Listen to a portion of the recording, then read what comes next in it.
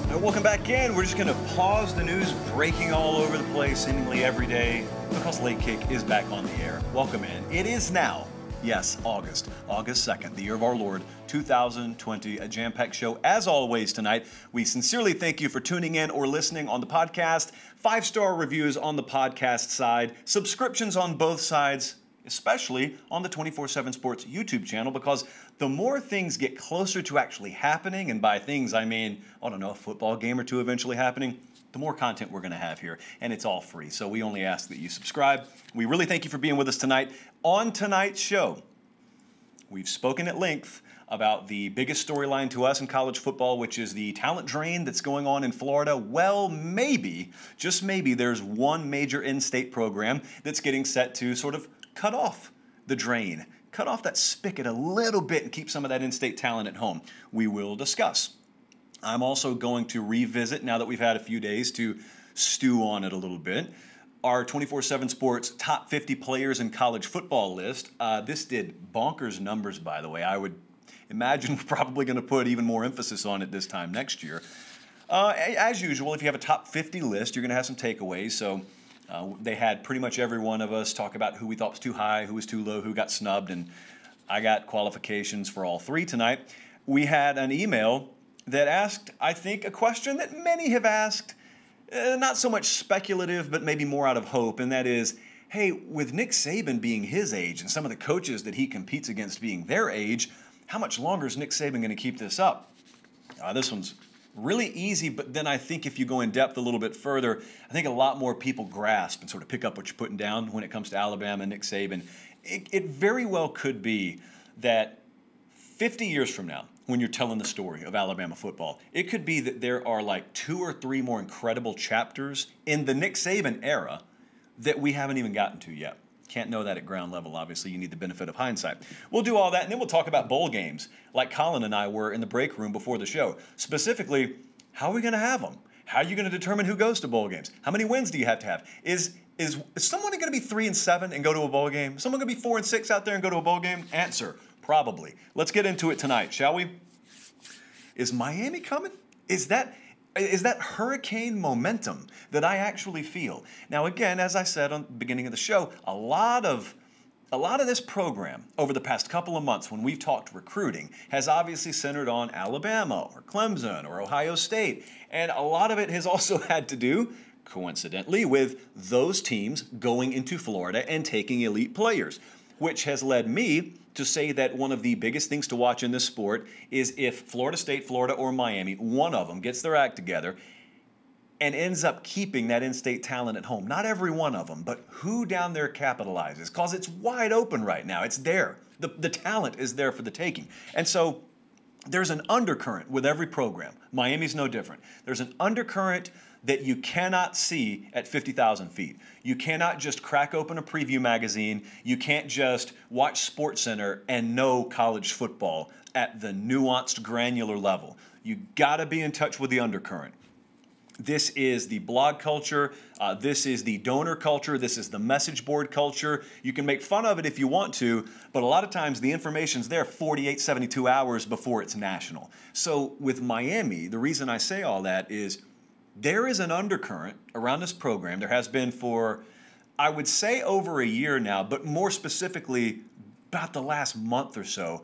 There's been this quiet undercurrent groundswell. You, you haven't felt it if you live in Kentucky. You haven't felt it in Nebraska regarding Miami. But if you're close to the program, you've felt it. So if you're in touch with that, you can already be ahead of the curve. Where is it coming from, though? Well, let me take you back to last year. This is the reason I said in some ways it's over a year old. I remember when Manny Diaz got hired there, uh, uh, did a lot regarding Miami on our show at the time it was independent, but I also talked to a lot of people at Miami, and everyone there was very excited because they felt kind of like Louisiana folks feel about Ed Orgeron. They felt like one of theirs was home. And they felt like they had a guy who understood what it takes to win at Miami. And maybe the blueprint there and the, the formula there, maybe it's a little bit different than what it takes to win at Michigan State, for example. And so they were very excited. But what happened was the offense was a disaster at times, could never really get quarterback figured out. It was a turnover fest in week zero against Florida. I was there for that game. Um, I still think there was like a turnover five minutes ago in that game. And so things kind of went off the rails. And as a result, a lot of the national attention waned. And of course, the locals weren't happy with the subpar record, but it was what it was. Well, then you get into the offseason, and a lot of people with proper perspective in Miami circles understand okay, it didn't happen year one, but the best don't always click in year one. Nick Saban was barely above 500 in year one at Alabama, and he may be the greatest to ever do it. So, big deal. Manny Diaz didn't go to the ACC championship game in year one. Don't worry, we still got the right guy. But you need validation. And here's what the validation is he makes a move, just like that. He sees that something needs to change offensively, goes and gets Rhett Lashlee. Not only that, they see that quarterback's a mess, they go get this young man that Colin's showing you right now if you're watching on YouTube. And if you're not, we're showing you D'Eriq King, who was a star quarterback already at Houston and is going to come in and instantly turn them into a contender, instantly make them capable of winning any game they play. And I do mean any game they play, even ones they may be double digit underdogs in. Thinking of one on the road in the state of South Carolina specifically this year because they have that dynamic talent at quarterback. Now, they got some holes still to fill in the roster, but the point is, those were two things immediately that that coaching staff, led by Manny Diaz, addressed that made people salivate at the thought of the fact that maybe we do have the right guy here, took decisive action.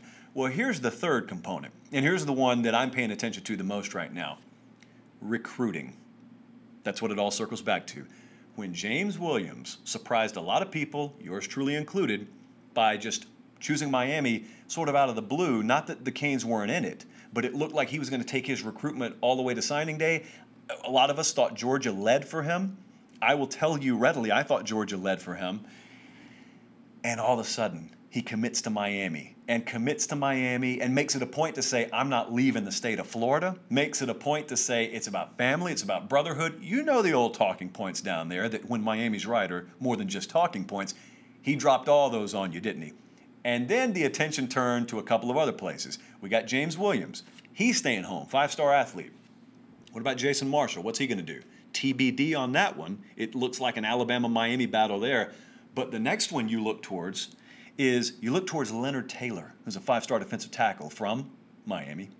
They grow on trees, literally, down there.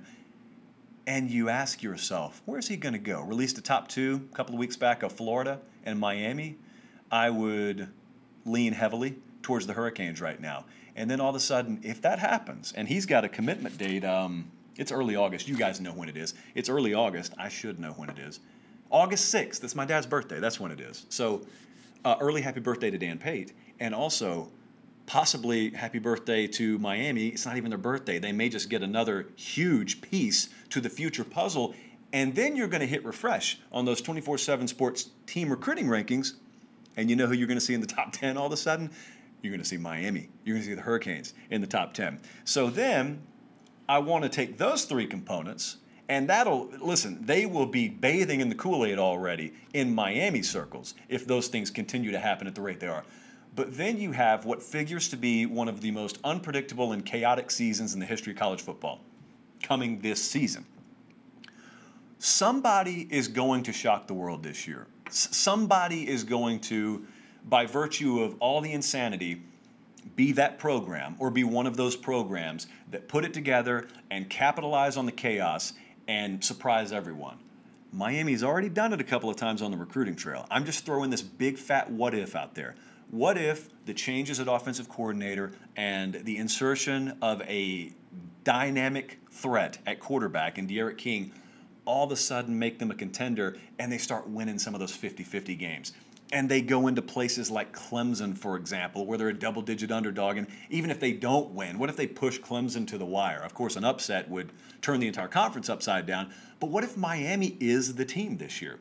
On top of all the other stuff, on top of the recruiting momentum, on top of the program momentum, what if it's validated on the football field, not in 2022 or 23? What if it happens in 2020? Wouldn't be the most shocking thing in the world to me. Uh, they certainly are not void of adequate talent to get it done. I didn't think they were totally void of it last year, but you got it figured out at quarterback, which we think they do. You got it figured out far more than by default a lot of people do in this sport. So, got two eyes, keeping both of them on Miami right now. Miami momentum. Alliteration is important. Alliteration is important. All right, the top 50. We released this last week on 247sports.com, and this was essentially where a lot of us at the national level were asked to rank the top 50 players in college football. Now, I don't ever claim to be a talent scout. However, I looked at our finished product and I thought it largely stood up against criticism, but then again, I had some criticism for it because naturally all my guys didn't get placed where I wanted all my guys to get placed. Um, everyone that I'm going to list here, we're going to talk about a few of these guys. Everyone I'm going to list here, I don't have a huge bone to pick. I just want to go down the list and a few things that stand out to me, a few names that stand out to me, why they stand out to me. And you can find the list yourself at 247sports.com and you can let me know what you think about it in the comments section, who should have been there, who is there that shouldn't have been there, and who should have been higher, should have been lower, because those were the questions that we were asked to answer after we turned in our submissions. So Trey Lance is one of the first names that I want to get to. Trey Lance is already projected to be a first round draft pick in the upcoming NFL draft. He is the quarterback at North Dakota State. Now, the reason I'm mentioning Trey Lance is not so much because I question his being in this list. He's the guy that you don't have any certainty about this year as it relates to schedule. It looks like everyone else coming out and every, everyone else at the Power Five level is talking about what they plan to do. Now, whether it ends up coming to fruition is largely up to fate at this point. But this is an FCS program, North Dakota State. Now, they're a powerhouse, but they're an FCS program. So, the biggest question with Trey Lance, and I got it for the Late Kick Extra podcast the other day, uh, which is available for download right now. Five star reviews appreciated. One of the questions someone asked me about Trey Lance that kind of made me think for a second, which is always good, is um, what happens if the FCS doesn't have a season this year, or the conference that North Dakota State's in doesn't have a season this year? What does he do? And the question was like, does he transfer somewhere and try and get eligibility to play his senior year? Now, to me, the quick answer was no. Remember what I said about him. I didn't say he's a guy with first round potential. He has that, but I said he's a guy that a lot of mock drafts and a lot of anonymous executives at the NFL level already have projected as a first round guy. So if you're sitting there telling me that if the draft were today, I would go first round and then I don't have a season, I'm just going to train for the draft. I'm not going somewhere trying to learn a new offense oh, over the next 10 or 15 minutes, uh, risking injury and doing it when I don't have to do it, I guess would be the best way to say that. So Trey Lance at number 10, interesting. And a, a side argument there, a nice side debate is the three, it looks like the three premier quarterbacks in the upcoming draft. You got Fields at Ohio State, you got Lawrence at Clemson, and then you got Lance at North Dakota State. And the big question is could he actually be taken before one of the two big boy Power Fives? He's a big boy in his own right, but you understand where that debate comes from. Now let's go the Power Five route. Let's go to the SEC. Jaylen Waddle at Alabama was listed at number 13. And so I was thinking about a nice prop bet. A couple of prop bets I think would be good with Jaylen Waddle. Prop bets are just random stuff that odds makers sometimes put out that you can bet on that doesn't include the side or the total. So Jaylen Waddle, I think it would be a very interesting prop bet to see what kind of odds I could get betting that he would have a rushing touchdown, a passing touchdown, a return touchdown, and a receiving touchdown this year. So four different ways because I think he'll have all of those, or I think there's a very good chance he could have all those. And I would love to see what I can get there. I'd also love to see what the over under uh, rushing attempts for Jaylen Waddle this year would be. A lot of direct snap potential for Jaylen Waddle. He's just a dynamic guy. He is a healthy version. I think they were the same number, if I'm not mistaken, of Kenyon Drake. Like when Kenyon Drake was at Alabama, when he was healthy, I always watched my TV or in person when I was there, and I said, why don't they give Kenyon Drake the ball more? Like, do, do, am I the only one that sees how nervous that defense is when he's on the field? Am I the only one that sees the pressure he puts on them? Well, it's to another degree with Jaylen Waddle. So this is the guy. Remember, we were talking about this uh, a couple of months ago. I'm not big into Heisman talk, but if you told me that I had to take a non quarterback as my pick to win the Heisman, that'd be him. Jaylen Waddle is my leader in the clubhouse as a non quarterback Heisman candidate this year. Let's move on. Now, this is the one I had the biggest beef with. Number 35 was Iowa State quarterback Brock Purdy. As many of you who watch and listen to the program regularly know, I can't explain it, but I've kind of adopted Iowa State. as one of my surrogate programs that I pull for. I guess you could call it bias. So I have some Iowa State bias. But there you go. I admitted it. So that means I'm immune from criticism. I think that's what the rules say. Brock Purdy's at number 35. Quite simply, there are not 34 college football players that I would take if I had my own program to run before I would take Brock Purdy. He has, at this point, significant experience in big games. He just has the experience factor, period. He's got very good mobility. He has, in other words, the tools that it takes to win the way modern day offenses ask a quarterback to win. Very good ability to improvise, very good ability to make plays when your initial play breaks down, very high football IQ, very good leadership qualities. And I go back to that E word again, just for good measure experience, especially paramount in a season like this where you lost a lot of what you would have in spring, and maybe you reside in a conference where some of the bigger contenders are trying to break in a new quarterback. OU. So um, Brock Purdy at number 35, I thought should be higher. Another guy I thought should have been ranked at the very least was Eric Stokes at Georgia. Now, we didn't even have him ranked. Eric Stokes, he's a defensive guy. Maybe some of you don't know who he is. He is uh, the best corner that Georgia has. He has been inked in, not penciled in. He has had his name written in ink as a starter at corner for two years at Georgia. Now, I'll tell you why that's pretty significant. Some of the most heated position competition at any program in America over the last couple of years, this one included, has been the corner position at Georgia. And even having said that, this is one of the best defenses, if not the best defense in the country. That guy has, without question, been the alpha corner on that team. He's a guy that's not afraid to be physical at the line of scrimmage. He's everything that Kirby Smart wants in a corner. He is probably going to end up being a first round guy in the upcoming NFL draft. Uh, he is a fixture on defense for probably the best defense in the country this year. So I just go back to I'm not I'm not lobbying for him to be top 10, but I don't know how in the world we have 49 or 50 guys listed above him. And then there's another one that I understand more. Another question that we were asked uh, that I would encourage you to ask yourself as well is which guys aren't listed here that will be top 50 by the end of the year? And I went to Christian Barmore. Christian Barmore is a name most of you don't know. Christian Barmore is a former elite recruit out of the Philadelphia area, I want to say. He goes to Alabama. Um, last year, there were times where they put him on the field. And every time they put him on the field, he flashed. You look at the Pro Football Focus advanced metrics, and he's right at the top of some of the advanced metrics that they keep, but you just didn't see him a whole lot. Uh, but when he was on the field, very disruptive. Now, I'm not questioning Nick Saban's personnel decisions. There's always a reason why a guy's getting the amount of playing time that he's getting, and we're nowhere near qualified to know, even if we know everything about football. There's stuff behind the scenes, who knows? I don't know anything about Barmore behind the scenes. What I'm telling you is this reeks of Quinnen Williams. Quinnen Williams had the same kind of career arc to where he got on the field, and when he was on the field, everyone's excited. Everyone's leaned forward in their chairs because it always seems he makes big plays. It always seems like he's right there around the football when he's on the field, just wasn't on the field a whole lot. Then he was in pretty much an every down player and was a top 10 NFL draft pick.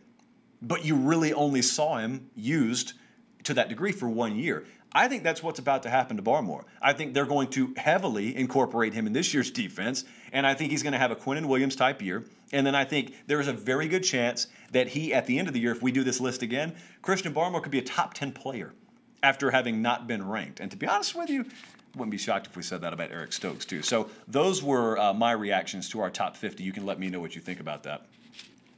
Uh, let's circle back around since I, I, wanted to caboose it there with an Alabama player because we. Um, we like to transition in this business sometimes, and this seamless transition goes into the question that we had from Jeff in the inbox. It was for the Late Kick Extra podcast, but as you know, sometimes I select some of those questions to use on uh, the regular Late Kick Live, which you're watching right now.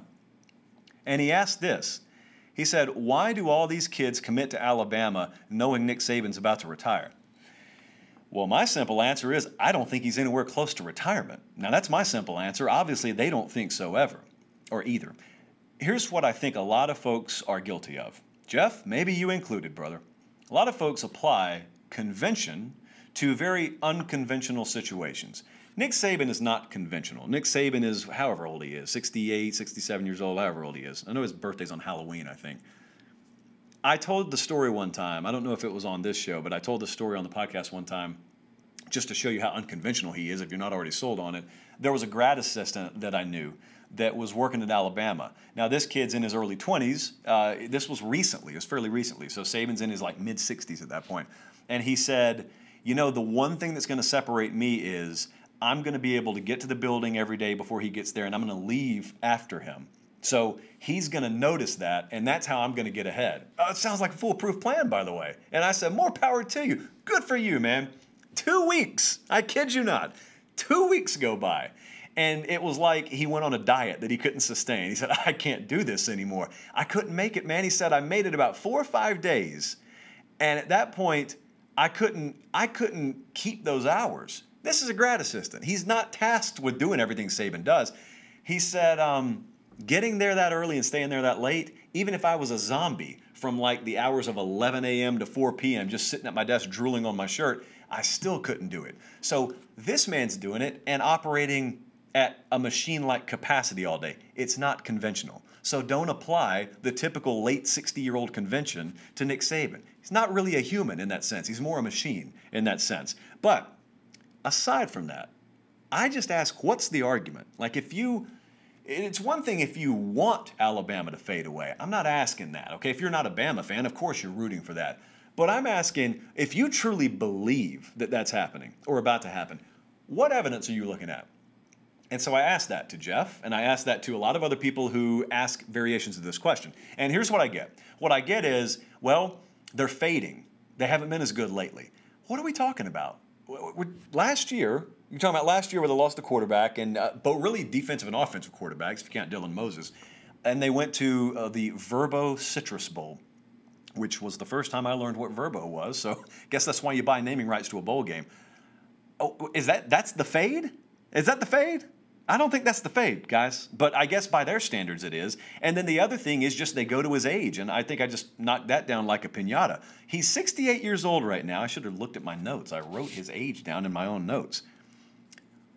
That's only relevant if he is showing age. He's 68 and he outworks people who are 48. So what if the 68 year old's run in circles around the 48 year olds? Do you really care about the age all that much? I don't. I don't think a lot of these kids that commit to Alabama that you're talking about really care either. Consider what we have going on up there right now, what we've seen as of late. And this, even if you were on the fence, which I'm not suggesting he has been, but even if you were on the fence, you talk about wanting to be reinvigorated. The overhaul they've had in their sports science and strength and conditioning department, to be honest with you, has been unlike anything I've ever seen. You don't normally hear this much noise about sports science and strength and conditioning. Everyone I talk to at Alabama, raves about this stuff. I can't even get returns on players because all they want to talk about is guess what this dude David Ballou is doing? Guess what this Dr. Matt Rhea is doing up here? And so I listen. A lot of it goes over my head because a sports scientist I am not. Sounds good, sounds impressive, but they have unveiled a new sports science center there. They've got what they think is the best sports and strength and conditioning duo in the country in there. Um, so you've overhauled your strength and conditioning.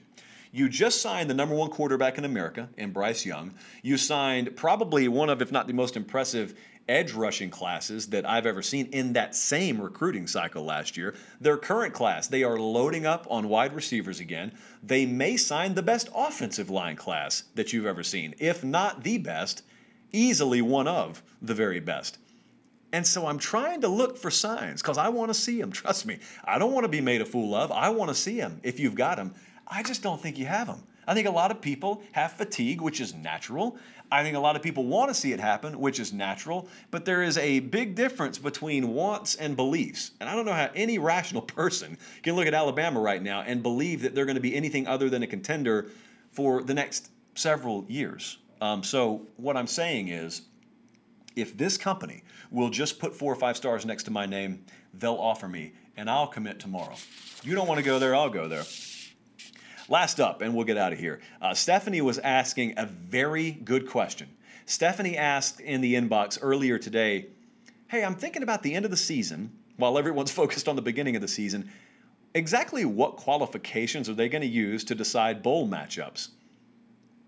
Stephanie, do you hear those crickets? Those crickets are the only ones here that want to answer you right now. Because I certainly don't know, and they certainly don't know, they in all caps, of course.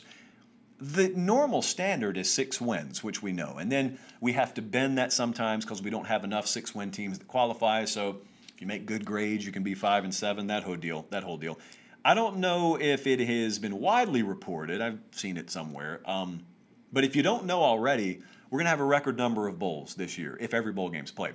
I think we got 42 or 43 of them. You do the math on how many teams that you need to fill those spots. We are not going to have 12 game schedules, obviously. And so, do you keep the six win qualification? Well, the answer is, of course not. You couldn't even do that when everyone was playing 12 games. So, you certainly can't now. So, the first thing you have to do, and the reason why no one has even broached this topic yet, is number one, you have to see the season get off the ground. And then number two, you have to see the season get played and see most of your teams and conferences get to the actual finish line. Then, you know, if, it, if we get to November and it looks like things are going fairly smoothly, then we can start talking about bowl games. But when is everyone's conference title game going to be played? When do we start the bowls? Do all the tie ins still exist? Has anyone revoked their sponsorship because COVID has hit them hard in the pocketbook? Don't know all that.